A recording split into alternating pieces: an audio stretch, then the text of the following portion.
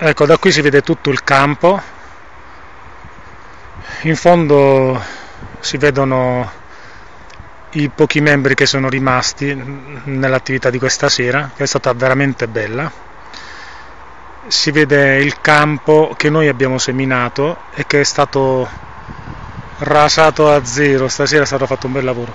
In fondo si vede il campo dove vogliamo creare la pista e fare il campo di atletica leggera e in fondo lì oltre al fagiano che cammina di qua e di là si vede la rotatoria o meglio la scarpata della rotatoria che abbiamo pulito veramente bene stasera